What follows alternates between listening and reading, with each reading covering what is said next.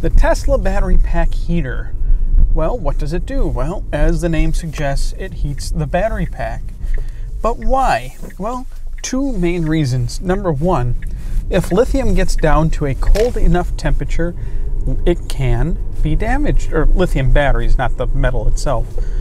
And number two, lithium, at least the chemistry inside the Tesla Model S, X, and 3, do not like to be charged at or below freezing. As such, the battery pack warmer heats the pack up to a safe temperature to allow charging. And allowing charging means actually plugging it in and also regen. This is why, if it's very cold out, you might not have regen when you first get in your car and it's been sitting, say, overnight. Now, the battery pack heater uses a considerable amount of power. It usually kicks in when you get in your car or plug it in and the pack temperature is at or below freezing and brings it up to a necessary temperature. Um, usually shuts off at around 45 degrees Fahrenheit, roughly. Um, I think that's 7.5 degrees Celsius, roughly, approximate. Um, and of course, freezing would be zero Celsius. Now, in terms of using the battery pack heater to gain your regen back, personal opinion, it's not worth it. Why? Because the amount of power it consumes is going to use more power than it would if you just used your friction brakes in the car. As such, we have this nice feature on our, our model, our Tesla vehicles called range mode. Um, it does a, a, couple of different things, and uh, it varies depending on which type of Model S, X, or 3 you have, and features such as two wheel drive or four wheel drive. But one big thing it does is it reduces the temperature that the battery pack heater will turn on in most cases.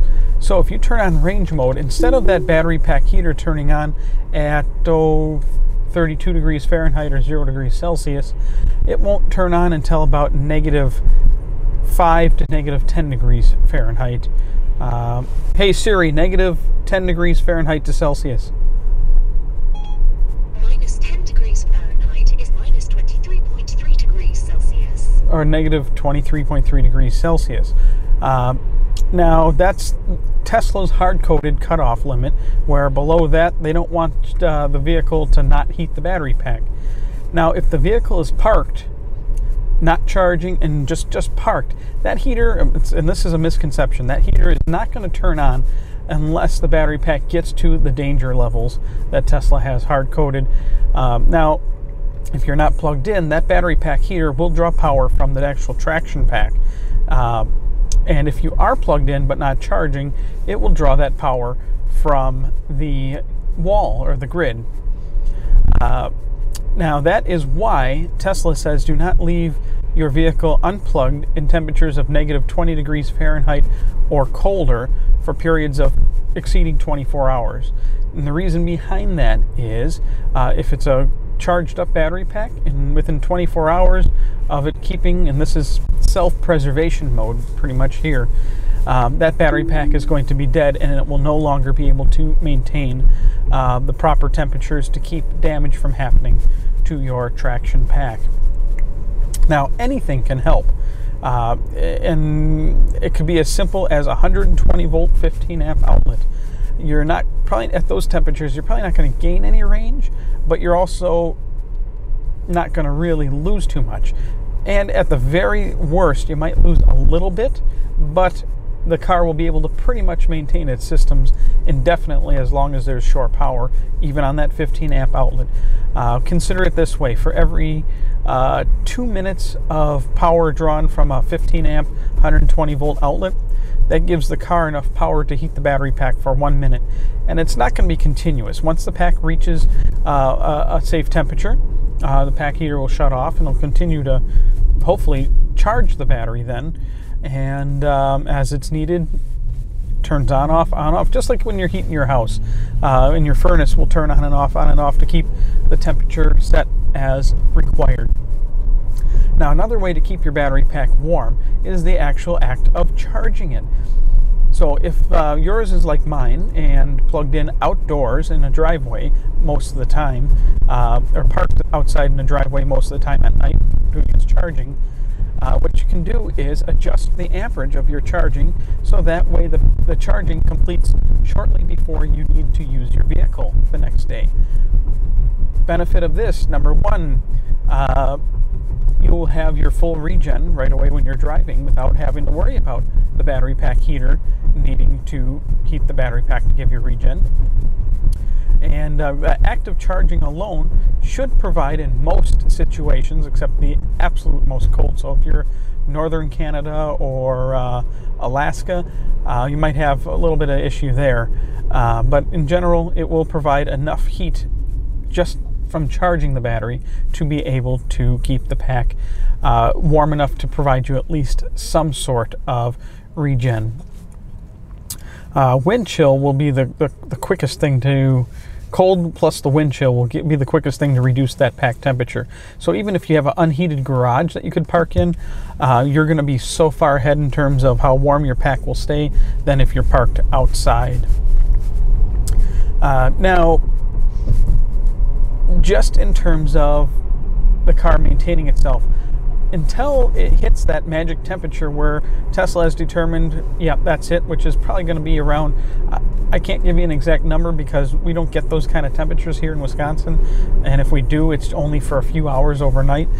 And by morning, with the sun coming up, that temperature is raising anyways. But I'd have to say it's going to be right around negative 20 degrees Fahrenheit. Hey Siri, negative 20 degrees Fahrenheit to Celsius. Minus 20 degrees Fahrenheit is minus 28.9 degrees. Negative 28.9 degrees Celsius. Uh, so, since that's what Tesla states not to leave your car unplugged in for more than 24 hours, we'll say around negative 20 degrees Fahrenheit. Um, that's the only time in general that the pack heater will kick in when the car is not charging or not in operation. So, say your car is plugged in outside overnight and charge completes within one hour. So, at that point, car's not charging. It's also not being used. It's not going to heat the battery pack, so you're not wasting power heating a battery pack.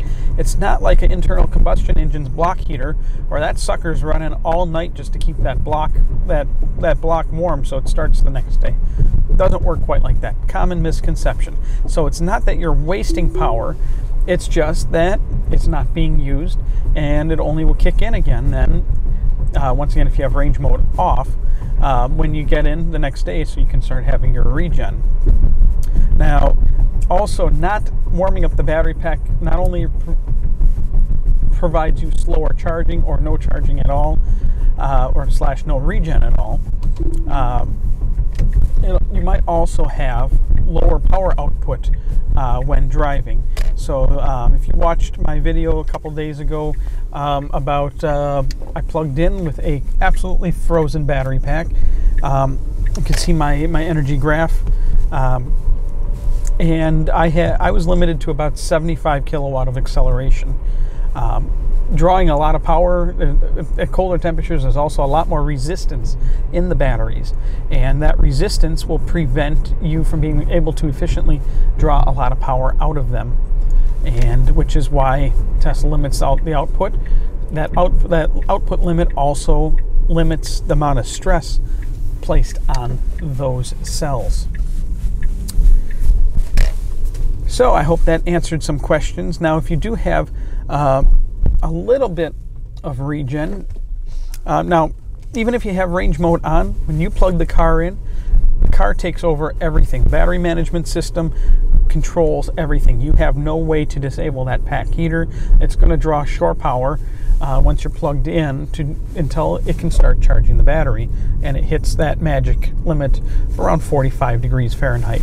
And despite belief, it does not bring the battery pack up to full temperature um, it just gives you enough so you get some regen, you can do your charging. Um, now, with superchargers, uh, the supercharger alone, once that starts charging, um, it, it's able to dump so much current and so much power and energy into your battery pack that um, it really won't need the heater the entire time. uh, it will, once the heater shuts off, just the act of that charging is also going to continue to bring the temperature of the pack up.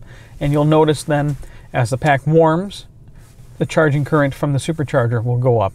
And pretty much only a supercharger is going to be able to output enough power where it will be limited on a colder pack once the battery pack heater shuts off.